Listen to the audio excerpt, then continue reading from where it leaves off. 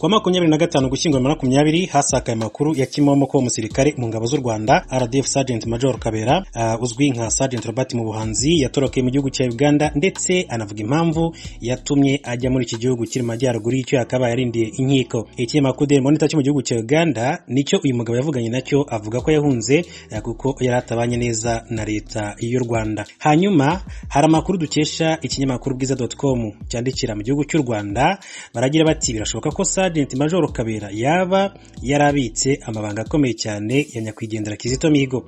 Harimo aho rero yabwiye Daily Monitor mu nkuru yabo yo ku itariki makumyabiri na gatanu gushyingwa makumyabiri.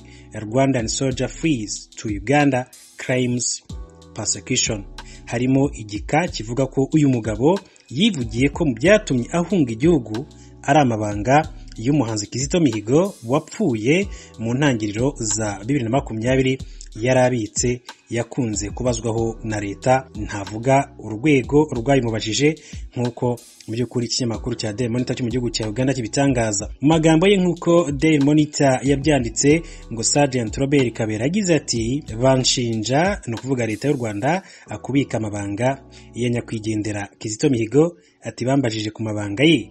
Ni ukuvuga amabanga ya Kizito Mihigo nk'uko yakomeje kugenda abitangaza. Gusa ku rundi ruhande bwana Sergeant Robert yavuze ko nanone kandi harimo kubavugana n'umuryango wa Major Fred Gisabwige Marwet uyu akaba anashimangira ko ari umwe mu bo mu muryango we. Ati biragoye gutanga igisubizo cyanyura buri umwe kuri iyi ngingo. Nubwo bimeze bityo ati byashoboka ko yayabika kuko bombi bakoze ubuhanzi. Ati bityo kandi bakaba baracishagamo bakaganira. Ati ndatekereza ko ntawabitindaho kuko bombi ni abanyarwanda batuye mu mujyi wa kigali kandi byarashobokaga cyane kenshi ko umuziki wabahuza cyangwa se bagahurira mu mihango inyuranye yabaga yarateguwe na leta dore ko yaba ari nyakwigendera Kizito Mihigo yaba ari Major Sergeant Robert ari bamwe mu bahanzi bakomeye cyane bakundaga kwifashishwa mu mihango itandukanye mu bikorwa bitandukanye byategurwaga na leta y'u Rwanda. Ku rundi ruhande ariko ijanisha ko byaba impamvu yo guhunga igihugu ntisobanutse neza. Byagorana kubyizera bitewe n'uko biri kuvugwa n'ushakishwa n'ubutabera wahunze. None ubundi yavuga ko ibyaha ashinjwa n'ubushinjacyaha bwa gisirikare bimuhama. Igikemangwa ni uko bitazwi muri rubanda ko aba ari inshuti za hafi ku rugero rwo kubitsanya amabanga y'akadasohoka yatuma umuntu ayabazwaho agahitamo guhunga aho kuyemera. Ikindi ni uko ushaka amabanga yayabaza abafitanye amasano ya hafi na Kizito Mihigo. Ntibizwi ko rero hari umwe muri aba waba warahaswe ibibazo ngo agire icyo ayatangazaho ubwo bari mu bahunga haba haragiye benshi cyane. Ibi rero ni ibyibazwa ndetse kandi ntibigamije no kugira uwo bihindura. Imyumvire ku buryo rero abona ibintu kuri iki kibazo mu buryo bukomeye cyane. Ati ntibinagamije kandi guhamya Sergeant Robert Kabera ibyo kuri ubu akurikiranweho n'ubutabera nk'uko byagiye bitangazwa. Ati ni ukureba rero mu by'ukuri ubutabera ndetse ni ukureka ubutabera bugakora akazi kabwo ka buri munsi. Nk'uko bikubiye ku kinyamakuru cya bwiza.com nk'uko umwanditsi yabyanditse yasoje agira ati twabibutsa ko ibyo Kabera Sergeant Robert aherutse gutangariza muri Uganda cyane impamvu zatumye ahunga nta rwego bireba rwo mu Rwanda ruragira icyo rubitangazaho. Sergeant Robert Kabera uyu nguyu mu by'ukuri akaba aherutse gutangariza mu gihugu cya Uganda mu kinyamakuru Daily Monitor ko yahunze leta y'u Rwanda mu by'ukuri ko ubuzima bwe buri mu kaga kubera yuko ngo avuga n'umuryango wa General Major Fred Gisa Rwigema Ret naho ku bijyanye kandi n'impamvu zatumye uyu mugabo ashakishwa n'ubutabera ku byaha akekwaho biri mu by'ukuri mu nkuru zitandukanye twagiye tunagarukaho bivuga yuko akurikiranywe icyaha gikomeye cyane cyo kwarasambanyije umwana utaruzuza imyaka y'ubukure. Igihugu yahungiyemo ni igihugu cya Uganda navuga ko ari igihugu n'ubundi gisanzwe kitarebana neza n'igihugu cy'u Rwanda aho aciye igihe kingana hafi n'imyaka igera kuri ine. Ibihugu byombi bitarebana neza ahanini bitewe n'iki? Bitewe n'impamvu zitandukanye za politiki. Igihugu cy'u Rwanda cyashinje kenshi. Igihugu cya Uganda mu by'ukuri gufasha ishyaka rya RNC rya Kayumba Nyamwasa urwanya ubutegetsi bw'igihugu cy'u Rwanda ndetse bikavugwa ko hari n'abambari benshi be batozwa cyangwa se bahabwa ubufasha bukomeye cyane igisirikare cya uganda cyane cyane urwego rw'ubutasi muri iki gihugu cya uganda giherereye mu majyaruguru y'igihugu cy'u rwanda.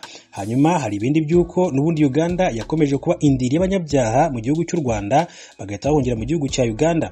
Gusa ariko ku rundi ruhande hari ikindi cyaha gikomeye cyane u rwanda rwakomeje kugenda rushinja igihugu cya uganda kirimo kuba u rwanda rwarakomeje kugenda rucumbikira. Mu by'ukuri byo kuba igihugu cya uganda cyarakomeje kugenda gifunga abanyarwanda benshi cyane mu buryo bunyuranyije n'amategeko bagakorerwa n'ibikorwa by'iyicarubozo hanyuma bakazanwa ku mupaka bagizwe intere ubundi bakaza gufatwa na leta y'u rwanda bagasubizwa mu buzima busanzwe. Navuga ko ni ibibazo bikomeye cyane byatumye ndetse habaho n'ifungwa ry'umupaka ariko igihugu cya uganda kigashinja igihugu cy'u rwanda kuba cyarafunze umupaka ndetse bikabangamira inyungu zabo mu bijyanye n'ubucuruza habayeho abunzi. Abo ni repubulika ya demokarasi ya kongo ni igihugu cya angola abaperezida bombi bagerageje gukora ibishoboka byose hasinyirwa amasezerano ya mbere rwanda mu gihugu cya angola agamije guhuza ibihugu byombi ndetse kandi buri gihugu cyemeza kugira ibyo kigomba gukora kugira ngo umubano wongere umere neza nubwo bwose kugeza amagingo angaya navuga ko umusaruro abaturage bari biteze ntabwo wari wagerwaho nk'uko babyifuza habayeho komisiyo ku mpande zombi ari igihugu cya uganda ari n'igihugu cy'u rwanda kugira ngo mu by'ukuri bicare basesengure baganire barebe umuti w'ikibazo ni uwuhe. Gusa nk'uko byatangajwe mu bishize na minisitiri w'ububanyi n'amahanga dr. Vincent biruta yavuze ko umubano ku mpande z'ibihugu byombi usa nk'aho wongeye kumera neza mo gake ariko avuga yuko hakiri ikibazo gikomeye cyane cyo kuba igihugu cya uganda mu by'ukuri gikomeje gufasha abarwanya ubutegetsi bw'igihugu cy'u rwanda ubutegetsi bwa perezida paul kagame cyane cyane ishyaka rya rnc rya kayumba nyamwasa ibyo byose bigashinjwa perezida museveni uyoboye iki gihugu. Mu bihe bishize mu gihugu cya uganda batangiye ibikorwa byo kwiyamamaza amatora ateganyijwe umwaka utaha. Ni amatora navuga ko yatangiye kubamo imvururu cyane zishingiye ku kuba robert kiyaguranyi sentamu uzwi nka bobi wine aherutse gufungwa. Abambari be birara mu mihanda. Hanyuma aza kurekurwa nyuma y'uko hari hamaze gupfa batari bake cyane imibare ikaba igaragaza ko abagera kuri mirongo ine bahasize ubuzima muri imyigaragambyo ikomeye cyane. Ariko perezida museveni yaje kuvuga yuko imyigaragambyo ibaye mu gihugu cya uganda ari abantu bakomeye cyane bayiri inyuma. Abasesenguzi mu bya politike mpuzamahanga cyane cyane ku gihugu cy'u rwanda ndetse n'igihugu cya uganda bakaba baravuze yuko mu by'ukuri perezida museveni ijambo rye bisa nk'aho yatungaga agatoki leta y'u rwanda. Ni ukuvuga ubutegetsi bwa perezida paul kagame. Nk'uko abasesenguzi batandukanye bagiye babitangariza ibitangazamakuru bitandukanye. Hanyuma rero uyu nguyu sergeant major robert kabera akaba yaramaze kugera mu gihugu cya uganda ndetse akaba anatangaje ko asaba ubuhungiro muri iki gihugu ndetse kandi agahabwa n'umutekano kuko azi neza yuko ngo ubuzima bwe buri mu kaga. Gusa ku rundi ruhande rdf ni igisirikare cy'u rwanda cyatangaje ko cyatangiye gukora iperereza ku bivugwa ku musirikare wabo mu by'ukuri ku byo gusambanya umwana. Bivugwa ko ari umwana utuje imyaka y'ubukure ndetse kandi harimo avuga ko ashobora kuba ari umukobwa we nk'uko amakuru abigaragaza. Gusa kandi yongeye kugaragaza ni ukuvuga Sergeant Robert Kabera ko yageze mu gihugu cya Uganda hamwe n'umugore we ndetse abana babasigiye inshuti mu gihugu cy'u Rwanda. Bagerageje kwambukana uruhinja rwabo ariko ntibyabakundira. Baza kurusiga kagitumba nk'uko amakuru ageze mu itangazamakuru yakomeje kugenda abigaragaza.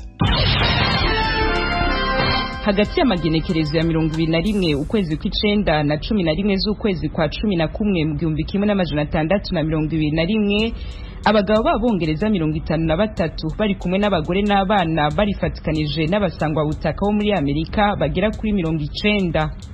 Aho hari mu ntumbero yo guhimbaza umunsi w'umuganuro wafashwe nk'uwo gushima umwimbu wabo wa mbere. Baronse bari ku butaka bwabo bushasha mu gisagara ca Plymouth kiri muri leta ya Massachusetts y'ubu. Abo bantu ico gihe bari bafise ibintu vyinshi vyo gushima.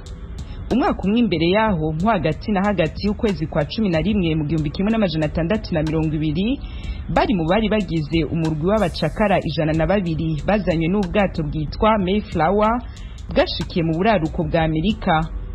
Abo bari bamwe mu bari bahagaze ku myumvire yabo ikarishe mu vyo kwemera yatumye leta y'igihugu cabo c'ubwongereza ibafata nk'intagondwa ziba muri ico gihugu zitabifitiye uburenganzira.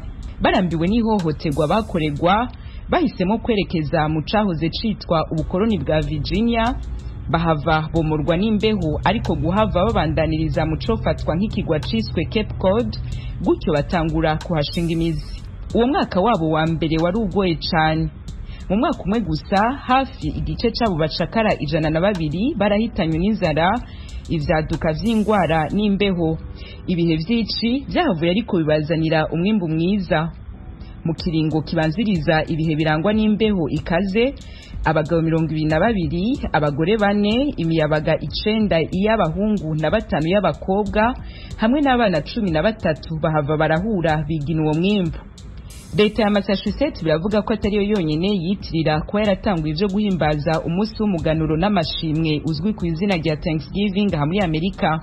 Zimwe mu nyandiko za kera zirerekana ko nk'abanyesipanyole ba mbere bashitse ku mugabane wa amerika hari imihango y'umuganuro ijanye n'ukwemera kwabo bagiriye muri leta za florida texas maine na